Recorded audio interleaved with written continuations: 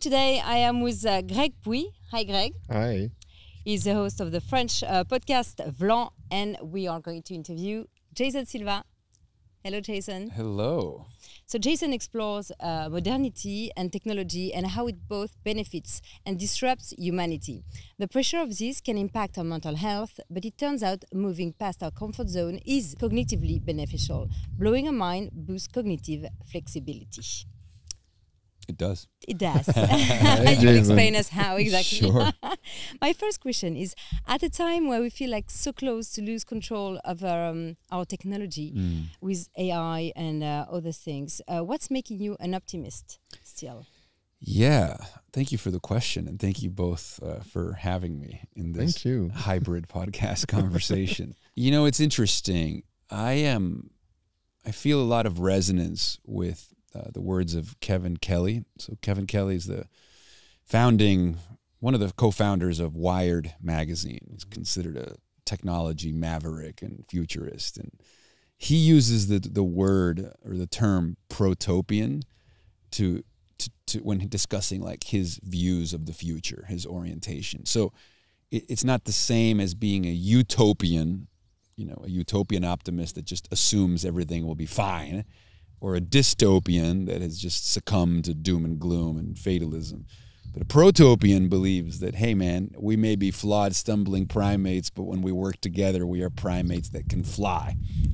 So, no doubt, we're at a inflection point, a kind of intelligence explosion when it comes to things like artificial intelligence.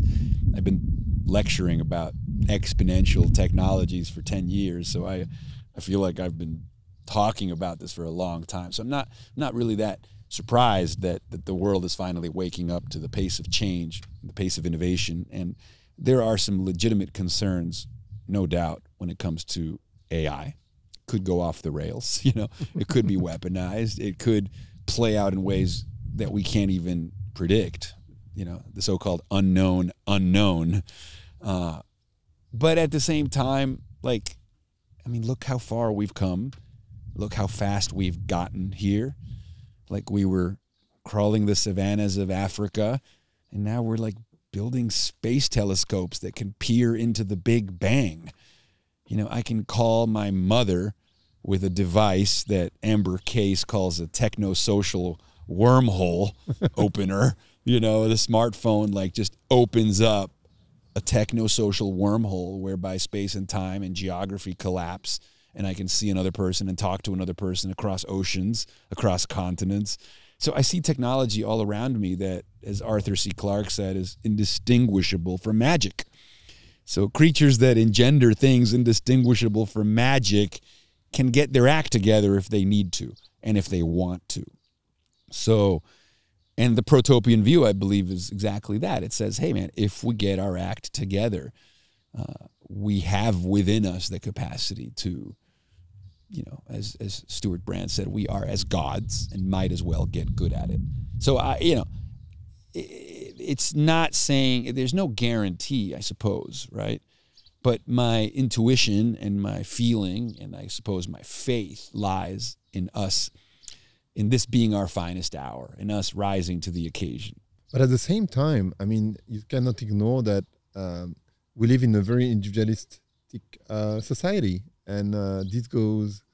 I totally agree with you. I mean, uh, humans are stronger because they go together and because Yeah. of language and all those things. Yeah. But at the same time, since uh, the Enlightenment period, we are we are very much into into this individualistic, uh, and I, and I when I listen to um, talk like uh, Tristan Harris on on uh, Yeah. on AI, people are listening, and yet they are wondering, yes, but how can I take advantage myself of AI? So they are listening to Tristan saying, oh yeah, AI is super da- dangerous. And at the same time, wondering how they can take advantage of it because they, they don't want to be last. So you know the struggle, and that that's to me is the issue. Absolutely. And, you know, it's nothing new under the sun that technology is and has always been a double edged sword. Mm. And so the alphabet, how wonderful this tool to encode human knowledge, to allow us to communicate, and you can weaponize language, writing, same thing. the printing press, how liberating, but also hate speech propaganda can really propagate itself through the printing press. Same with social media. Without social media, I know that my career wouldn't really have been possible. And the hearts and minds that I touch through my work that thank me for the ways in which my work has served their life wouldn't be possible for that were it not for that medium, for that technology. But we've we've seen the weaponization of social media. We've seen what it did to the United States in the elections. We we've seen how it was used. Cambridge Analytica. We've seen what happened with Brexit. I mean, incredibly problematic stuff. And I guess that's just the story of man. Unfortunately, the story of humanity is, in some ways, we are Promethean beings and we steal fire from the gods, but perhaps we got ahead of ourselves. We didn't have the the wisdom and the prudence, as Daniel Schmachtenberger said, um, to to to utilize to deploy these tools in the best of ways. We sort of just deploy them, and the use cases happen, and some are good and some are bad, and maybe we need to get ahead of that before the tools are world shaking and world destroying tools. Who should be the wise men we're trusting? Yeah, good question. In terms of like who do we listen to is is probably the, the toughest question of all. And I talk about this as well, that human beings are well, we're storytelling animals and and and, and our our compass, our, our, our, the way we orient ourselves, the way we orient our behavior, the thing that tells us how to act in the world is, is, is a storytelling structure. You know, like like it seems to be like the the at, at the very bottom of consciousness is story you know meaning is extracted from story. And so and so and so these narratives these stories they they sustain us or they can destroy us. You know there's nothing more tragic but also fascinating about uh, somebody who chooses to take their own life especially in the western world where we have secured such material prosperity such material wealth something that our ancestors would have like dreamed about you know cell phone internet communication whatever cable television and that today more people die by suicide than die from natural disasters and armed conflict combined. Well, suicide is a crisis of storytelling, in my opinion. When the story you tell yourself about yourself is no longer convincing, when the narrative that sustains your life, when the narrative that gives your life meaning collapses or gets inverted or gets corrupted like a software file, well, if you don't have a story, you can't live. You know, man can live mm. a few, you know, weeks without food, a few days without water, but not for a minute without hope, not for a minute without a sustaining narrative. And so the narrative matters. Jamie Wheal during the Harvest Conference talks about when people come together and are and, and are and are like jolted into aliveness by something called soul force. It's the thing that wakes us up, you know, this affirmation of life in spite of its tragedy. And he cites people like Martin Luther King, you know, potentially Nelson Mandela. And these are people who, in the end, were orators. I think about Barack Obama, you know, the best story wins, and the best storyteller, in a way, casts a spell upon his or her audience. And so it's a great question. And, you know, I'm a, I, love I love language. I love literature. And I love poetry. And so I, I want the, the, the best storyteller or the storyteller that wins to be a very literate one. I want I want I want a, a, a, a, just an inspirational voice that becomes the voice we you know that we all orient our lives around. But I don't want it to be an ideological voice. I don't want it to be a populist voice. I don't want it to be a voice that separates us, that casts us into a world of us versus them. I want a unifying voice that sees the other as oneself and that at the same time celebrates our differences. And so that requires a different kind of thinking. You know, somebody informed by the overview effect, somebody informed by psychedelic, egoless rapture, somebody who's been moved by song. You know, I, I mean, I, it's a big thing that I'm looking, you know, to for for the for the person to, to be the storyteller of our times.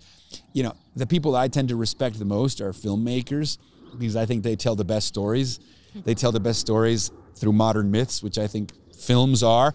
Christopher Nolan, for example, his new film that he's making about you know Oppenheimer, I am become death. You know about the invention of the atomic bomb.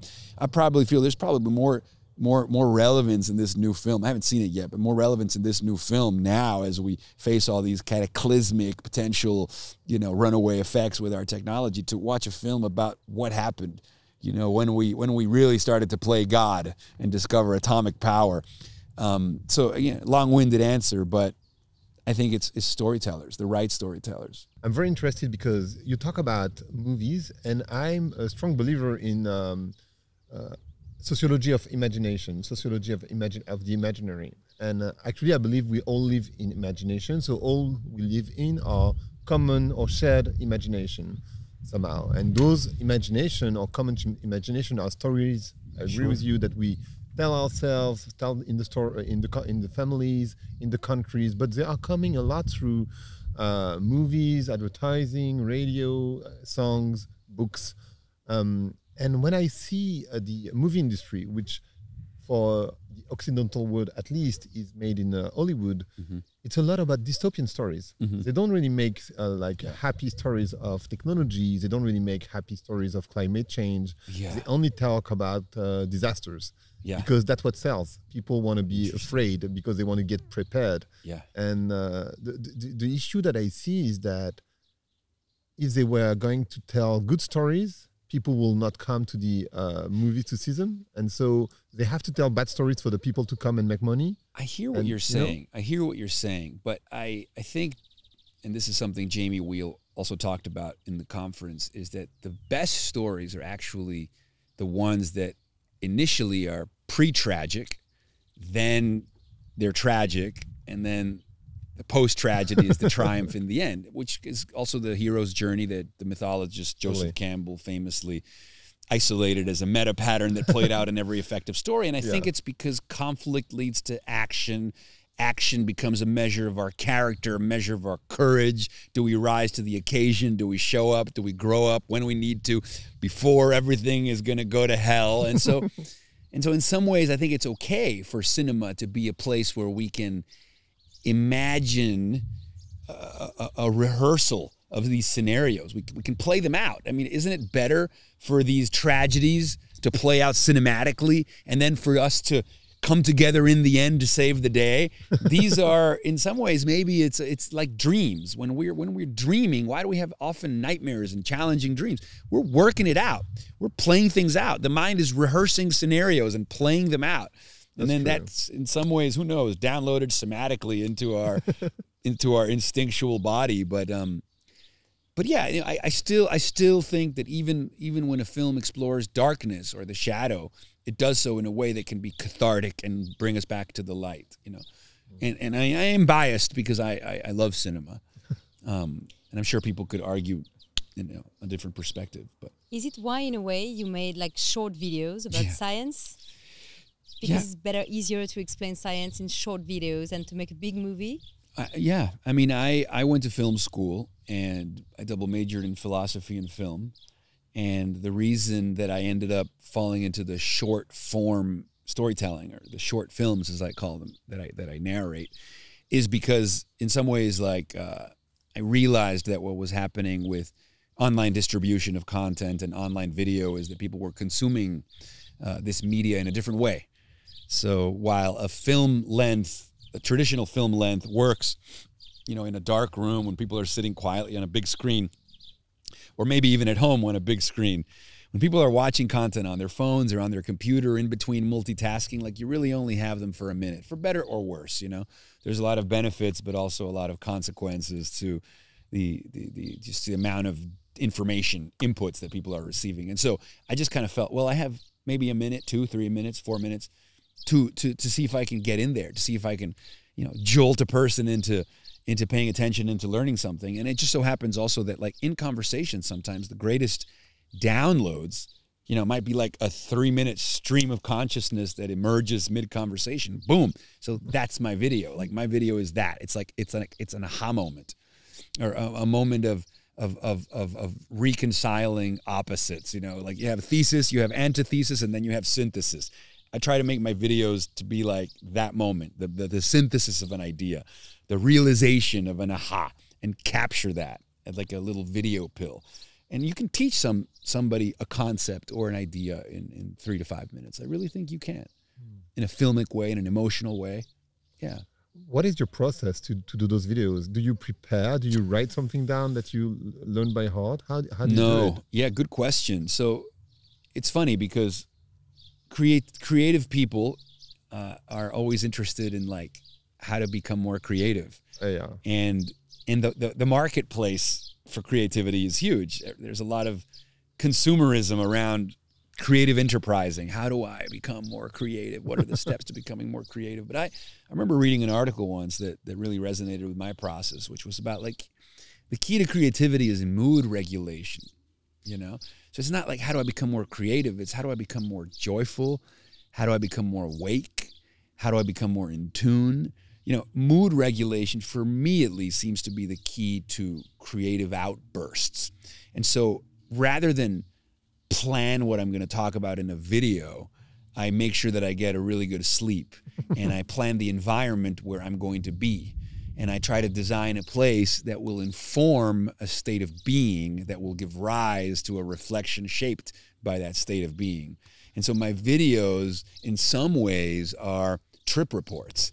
They are like direct reflections of something that happened in the moment. That's why they're so of the moment. They're so real. They're so authentic because you can't plan something like that. It's impossible. All you can do is set the stage and take a leap of faith. What about boredom? Because boredom is is a huge part of uh, creativity also. Yeah, funny you say that. There's a great essay written by a guy called uh, Henry Weismeyer about the age of, he says, uh, the search for awe or the age of awe in the age of uh, something, the search for awe in the age of awesome. and uh, and one of the things that he said was that experience is the new faith, and we are refugees from the mundane. So we are running away from habituation. We are running away from boredom. You know, boredom is that feeling of low affect, mm-hmm. low engagement, low salience. And typically I only experience boredom hmm. when I haven't slept. It's really the only time that I'm that I'm bored, if I'm under rested. If I had a really good sleep, I can pretty much beam my attention. I have the resources to beam my attention towards anything and anything that you bring a certain quality of attention to becomes fascinating, you know? So, but yes, I mean, you have to seek novelty for sure. And now, grant, now, granted, frustration and boredom, yes, that can lead to creative bursts. Usually, if there is boredom or any kind of frustration for me, it just makes me double down on making sure that tonight I get a really good sleep and tomorrow I go somewhere new and beautiful with a friend and get into it, you know, and wake up from that. So so it ends up definitely being a it lights a fire under your ass. Like if I'm bored today, I do not want to be bored again tomorrow. That's good. Nice. Because you were talking about uh, creativity Yeah. and we were talking before about technology. I was uh, wondering um, exactly what's a part also of um, how technology inspires your uh, creativity. Sure. You went, you did like a video that went on with AI that went Yeah, viral. yeah. Um, so what are the tools you're using? Sure. When do you notice a technology and say, "Oh, I'm going to use it"? And Yeah. uh, Well, I think the first one that really got me excited was uh, eight millimeter camcorder back in 1994.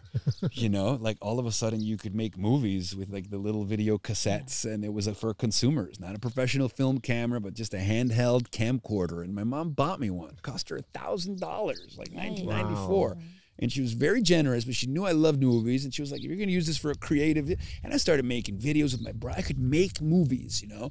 And I was like 94. Who knew? I was 12, you know. And by the time I was like 14 or 16, I was making videos with my friends, interviewing each other about ideas. I was in love. And then I bought a dual deck VCR, which means I could transfer the footage from an 8 millimeter tape to a VHS, and I could Oh, dub in yeah, yeah, music yeah. in the transfer. Uh-huh. So without having any digital tools, I could still add music to my videos. So that was like a creative use of technology. I can make these music videos, edit them in my head, shoot them in sequence, and then just dub the music afterwards. And I was like, I have a music video. That was very exciting. And and then and then in some ways I I I anticipated that these video cameras would get more and more sophisticated. I never quite anticipated that they would merge with an internet enabled device like a camera on a smartphone. Mm. But I already had a fantasy that a camera that fit in my hands, I could travel around the world, get inspired on the top of a mountain in Iceland, and record a reflection about it. But then with things like the iPhone, my dream was literalized because now I could hold this device. You know, I was making selfie videos before word the word selfie became the word of the year. I was very ahead of my time in that sense, you know. Um, but uh, but I've always creatively used these tools to up the ante of the cinematic power of my media.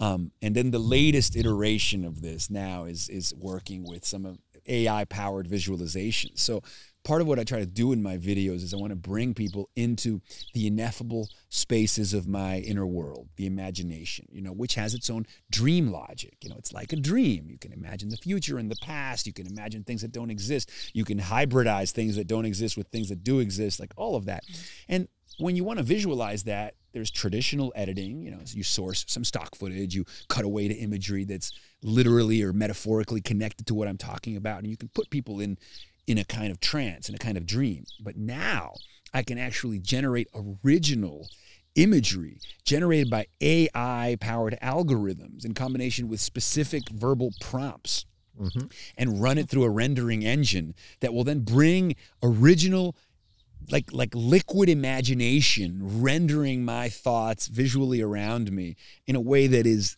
truly a kind of psychedelic experience.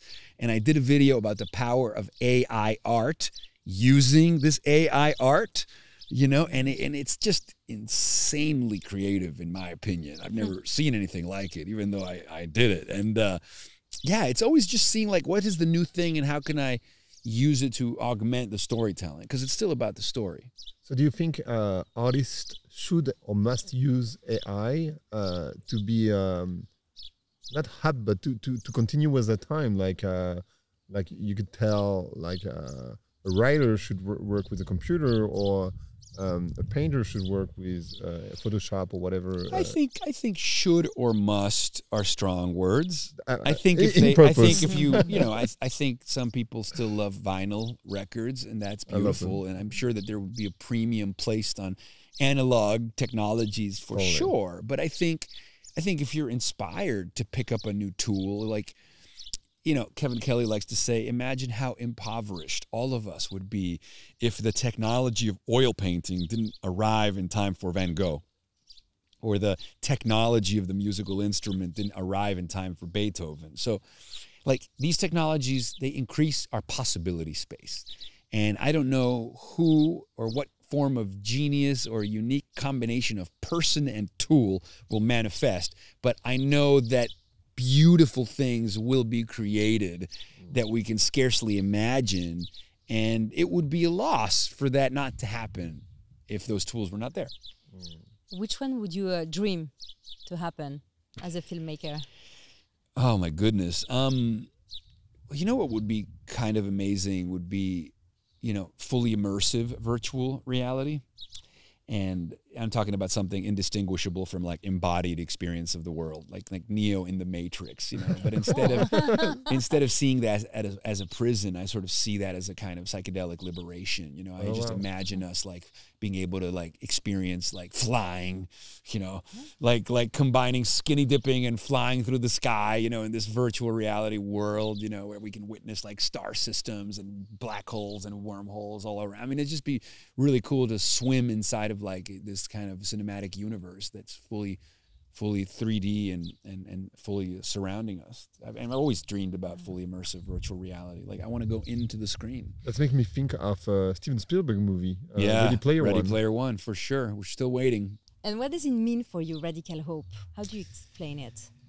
Yeah, I love the term radical hope, and I think radical hope is what happens after radical healing and radical wonder and radical technology. That was the my thesis in my talk okay. that I gave today, which was, you know, how do I get there? You know, because hope is one thing, but radical hope means, man, I'm leaping into this open eyed. I believe, I trust. It's a trust fall. But the only way that I could trust fall without shitting my pants is if I've healed my fractures, schisms, fears, and traumas, you know, and if I've returned to a kind of wholeness that then connects me to the holy, you know, that place of radical wonder to see the world in a grain of sand and heaven in a wild flower, infinity in the palms of your hand and eternity in an hour. Like I want to go full on William Blake, you know. so first heal myself, then go full on William Blake. Radical healing, radical wonder, then radical technology because then I'm now imagining the impossible dream and I'm imagineering the impossible dream. So I'm putting it into action. I'm making it so. Um, and then after, I mean, the coupling of those things, healing, wonder, technology, takes me to a place of not just hope, but knowing. You know, catalepsis, the truth from which nothing can dislodge you. Um, that that's that's that's the, my formula for radical hope. So it takes a lot of wisdom to do that. Mm. And I, I was it's it's a basic question I'm going to ask, but how do you take that at scale? Because Yeah. how do you make sure? Because you were talking, uh, we we started with the the politicians Yeah. and those guys they're not there at all. Like No, no, Not at all. They're depressing. Yeah, they're very depressing. Every country, Politicians it's not depress me. Yeah. American, it's not European, it's pretty much everywhere. I know. So how do you take that at scale? How do I you make sure people are into that uh, wisdom, especially the people leading us somehow? It's interesting you say that. And uh, you remember Václav Havel? Oh yeah, yeah, yeah. The, the the the Rose Revolution was it or something in the Czech Republic? But Yeah. wasn't he a poet before he became president? That I don't know. I think he was some kind of an artist or something. But like, I think the the romantic dream is, I guess we need our leadership to come out of the arts. And I'm not saying actors, because politicians are like actors. Or comics, if you think about. Uh, Yeah. I, but I want, but more artists, more poets, all right. more of these kinds of thinkers in positions of power would be very interesting to me. Because I agree, the thing that makes me most cynical in the world are politicians, ego driven narcissists, You name it. short sighted, just not very inspiring. Obama was inspiring to me. He seemed like a really wise man. True. He seemed like an artistic thinker. But, you know, his hands were somewhat tied. I suppose that sometimes happens in a place that has a balance of power. Um, not inspired by anybody I see these days very much. And, and, and, but I like to think that, that even though they're in power, there's other kinds of power that shapes the world too. I think technologists are able to shape the world more than politicians in some ways. Politicians are there hopefully to prevent us from initiating physical force against others, although they don't do a very good job of that. But again, that's the whole thing. Like they have the guns and they make sure that we don't shoot each other and they make sure that people don't shoot airplanes from the sky and do that and then let the innovators, the entrepreneurs, the technologists, the poets and the artists through their soft power, you know, steer us forward.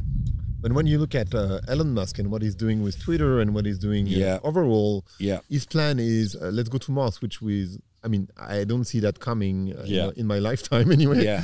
Um, so this is not a solution, uh, and he's one of the leading technologists, and somehow, I mean, I think you can debate some of what he speaks about, but he did make rockets that land themselves. that's true. Like rockets are cool because they explosively fire us into the at- beyond the atmosphere, but he made rockets that then land themselves afterwards. Talk about a circular technology.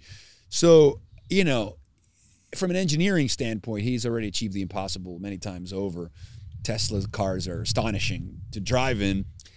I think, you know, maybe he likes Twitter more than me, and maybe that sometimes triggers him to saying things that don't seem to be at the level of who he is when he's making things like rockets that land themselves. Um, I think what he wants to do with Mars is also just it's a very uh, sometimes you have to do things that are also symbolic, not just practical. And uh, even though it's both, it's symbolic. We go multiplanetary. That's symbolic. It's also practical. It's an insurance. If we fuck it up here, like we'll have a presence over there. So I still, I still, I, I, su- I support that idea. You know, I am persuaded by the idea that we should expand beyond a single planet. Yeah, I'd love to jam with him. I really would. what if we keep talking about uh, transformation? Uh, what is the most transformed human you can picture in uh, mid-term? what is the most transformed human? Yes. Like like my version of the Yeah. the Overman or the Vitruvian Yes. Man. I think it's some kind of uh, like a philosopher king or philosopher queen. You know, like it, it- I think it's a, a a man or a woman of letters, somebody who who whose inner life has been richly informed by literature and philosophy and contemplation. Like I want I want somebody of depth and emotion um, but somebody who also understands, you know, mathematics and physics and engineering and chemistry, you know, like sees how things click and work together. You know, I'm- I think of people like Richard Feynman or people like Carl Sagan. You know, when Carl Sagan talks, I'm like, he's pure awe and he's an astrophysicist. He's both a poet and a scientist, you know.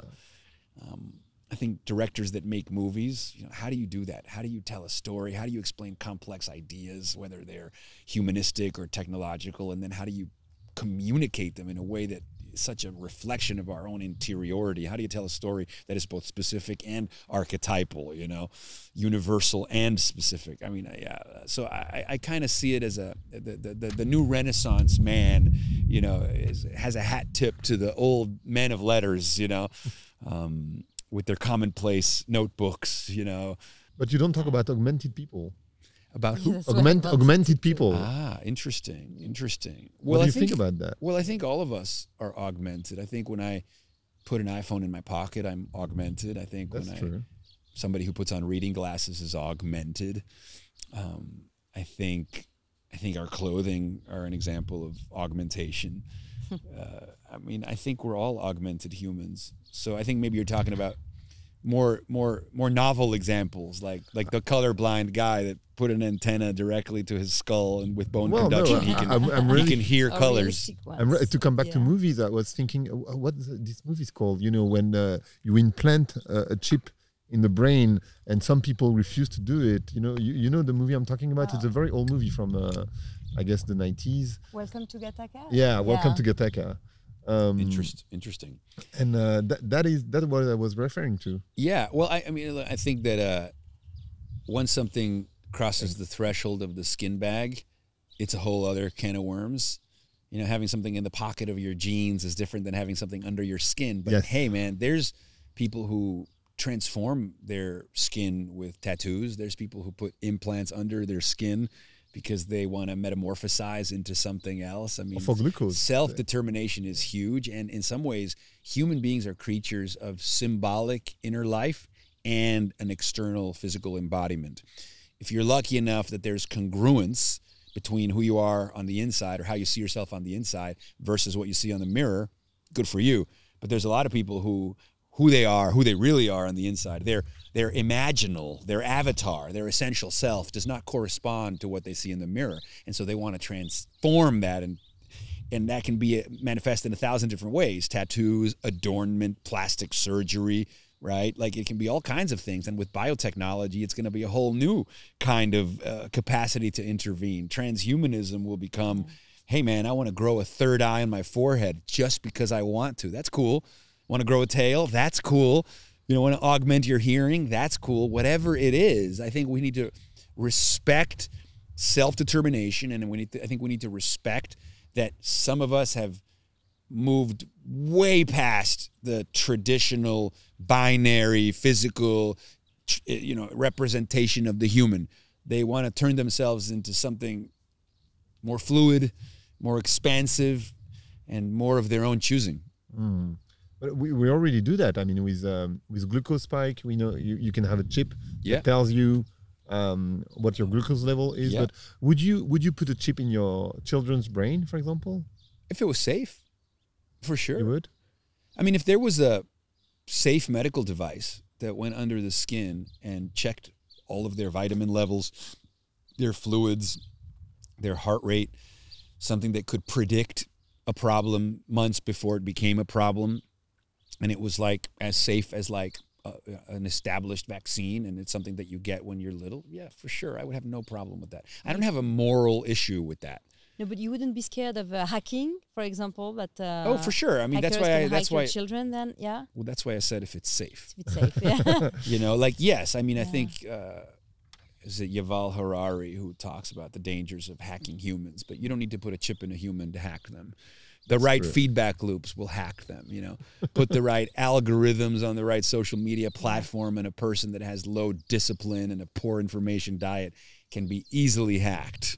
yeah. So people can be hacked even by orators. I mean, Hitler hacked the brains of the brain stems of those feral audience members that would listen to his vitriolic hate speech. You know, Is a sense of awe. Do I say Yes. it right? Yeah. Is uh, We had a challenge so beautiful. is like um, new spirituality.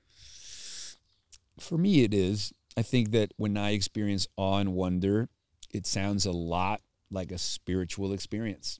You know, I, I don't use the word spiritual that much because I think it's been corrupted by misuse, by ide- ideologues, and and and and forcing people into certain scriptures that maybe don't speak to them, and so on and so forth. And this is the spiritual path that you must follow, and so on and so forth. And I'm not, I'm not into that. But but I am into experiences that are sensorially immersive and that arrest the mind's attention and that in some sense exceed our maps so we all create maps to orient ourselves in the world. That's just called growing up from a child to an adult. And then as an adult you kind of live inside your maps semi autopilot you know?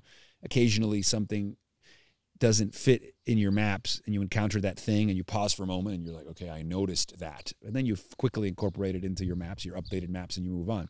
But sometimes you encounter a self-transforming machine elf in the middle of a dmt trip or an art piece at burning man. The point is or the grand canyon or the birth of a child or an orgasm with a woman that takes your breath away the point is you can encounter things that are beyond what you might have ever imagined. And that opens up a space of obliteration of your maps and a place of virginal noticing. And that's awe. It turns out that awe doesn't just feel good, it leaves an afterglow. Like it's like a medicine that has an effect. And the effect is increased compassion, increased well being, increased humil- humility, and it has uh, an, uh, anti inflammatory properties. So it's like good for at an organismic level. blowing your own minds is good for you. Yeah. And how do you cultivate this sense of oh Like when you have a, when you're a bad mood, depressed. Yeah, yeah, yeah. Good sleep, nature, and cannabis. That's my formula, and I live in a place where cannabis is legal, FYI. but uh, but um, you know, you know, I think I think people can get there through a variety of ways. Novelty is a pretty great trigger. You know, again, something you haven't seen before fires up the dopamine. It boosts salience. It boosts engagement. You're more present. Um, novelty is good. Arousal is good. Um, contemplation, meditation, all these things are good. Lubrication, that's what cannabis does in a way. it just, it just, for me at least, it uh, floods my mind with heightened noticing. Yeah. I wanted to know how you look at death as a I'm, philosopher. I'm not a fan. well, no, I I think that that I think that psychological death, i.e., the death of our fears, the death of our traumas, the death of our rumination, the death of our locked in thought patterns that no longer serve us, the death of the ego, all things are healthy psychological renewing practices. But that's very different than the withering away of your vitality, the rotting away of your flesh, the failure of your organs, and the loss of everyone you love. Now, if we are in fact eternal, if some kind of awareness persists, then hallelujah and amen and great. But if not, it's a tragedy. and yet uh, death give the a sense of uh, the beauty of life because Some people say that. I, I'm I'm saying that. I mean, at least I feel like if you were eternal and if you've seen Highlander, to go back to the movie thing, um, it's kind of it's kind of sad, especially in the in the in the world where everybody cannot uh, be eternal. But when you're eternal, nothing really matters. You know, you don't have any joy because, well, you know, Because you need contrast. Yeah. yeah. Okay, look, I definitely. I hear what you're saying, but you know, I used to tell my mom I'm bored, and she's like, only boring people are boring, and I kind of feel like if you need death for life to be exciting, something's wrong with you. Life itself is what gives meaning to life, and uh-huh. I don't need to be put to death, to be handed a death sentence for me to come into aliveness. I, don't just know. need some I- I- cannabis, bro. I, I don't really have a choice. I mean, I was born with this death sentence on my head, I know. I know. so it's not that I choose. Yeah, yeah. No, I feel you. I feel you. It's very funny what you said about boredom. It interested me because Greg, maybe you're French as me, and I think my mother always told me like it's a good thing to be bored and that you should cultivate also as a child. I've heard that. and you understand that? Yeah? No? I mean, no, no. I, I've heard it. Yeah, because Yeah. because because it can be a motivator to leave that negative affect of boredom can fuel you into not boredom. Oh no, it's creative. Uh, your your mind will take you somewhere, not to be bored. Sure. So you will help yourself. Sure, Why? sure, sure, sure. It's it's taking away someone's chocolate to make them appreciate chocolate. I understand. But I, I, I mean, somehow it's true. I mean, uh, It can be true for some people, not for me. Not for you, okay. so so in your in your point of view um because i'm always thinking about scaling like uh, people like uh, we're 8 billions how do you, again how do you scale like you said um, one way would be to have a poet philosopher at the head of state so that that's one thing and uh, bringing new stories tell new storytelling new Yeah. stories but um how, how do you because i think like people are so disconnected to who they are they are disconnected Yeah. to nature they're disconnected somehow Yeah. and also because you were talking about um, moral and you know the patterns uh, Yeah. uh, something that we don't learn and actually we we upload is uh, the white collar being uh, bad to people like uh, earning whatever millions uh, dollars over pe- other people's life. It's uh, concrete oh wow you made uh, 10 millions or whatever millions. We, we congratulate you and we don't say oh but what about the people that you are earning this money on? And that create this this difference create a, a, a- a huge impact on the average people life. And so for for a weird reason i think we we celebrate that um that thing or and we we say okay you should not beat someone you should not rape da da da which is obviously uh, better but we don't say oh you should not uh, be mean to other people with you know uh, this uh, very very uh, uh, I would, put that uh, unequal system. We we actually congratulate you for doing it. For being really successful, you mean? Yeah, I mean what we call success Yeah. is accumulation in our society. Sure. Sure. Well, look, I'm not opposed to people being rewarded for exceptional contributions. True. So, made an iPhone and a lot of people bought it. You deserve to have enough money to buy a big mansion if you want, you know, like all good. Um, and I like that, wonderful actors and directors are all extremely wealthy. They deserve it. What they do is the Lord's work, in my opinion. The problem with extreme inequality is when you get to levels of disparity where those at the bottom are inhumanely pushed into a state of economic stress that no person in the 21st century should be experiencing. We have enough technology, innovation, we have enough resources that you know, if we figured things out, things could be much better. It's a reason I'm very inspired by countries in Northern Europe. I live in Amsterdam. I love the Netherlands. I love Denmark. I love you know places like Sweden and Norway. These places are much more egalitarian, but they're not like Cuban communist. You know, they're not Soviet no, no, no, Union. totally. They are free enterprise. They have rule of law. People can acquire property and be successful. But you know, you high trust governments, more taxes that you see the results of those taxes in the public square, in the social services, in the health care.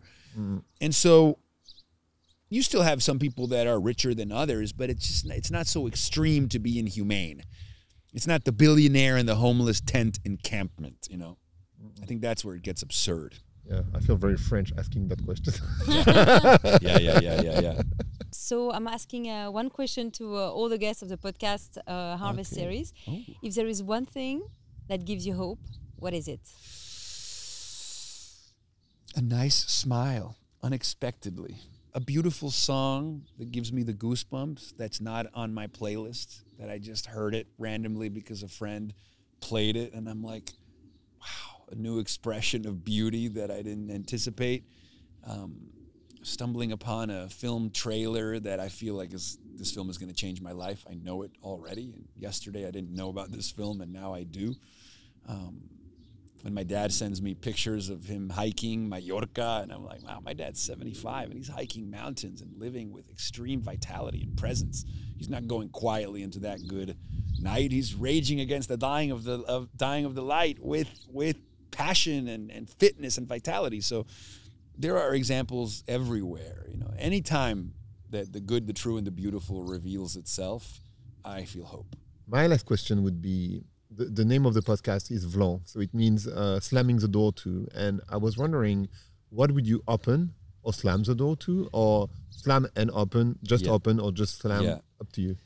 Well, very personally, um, my biggest battle has been my battle against anxiety. You know, um, in Venezuela, you know, I was always scared of home invasions, kidnappings. My dad was once kidnapped. You know, like break into the house, that kind of stuff. So I was always afraid of for my own safety, and, and it got in my skin, man. Like even after I left Venezuela, you know. I'll be in a movie theater in the U.S. and I'll be like, "What if somebody comes in here with a gun and shoots everyone?" Like I work, I, I, I have those thoughts.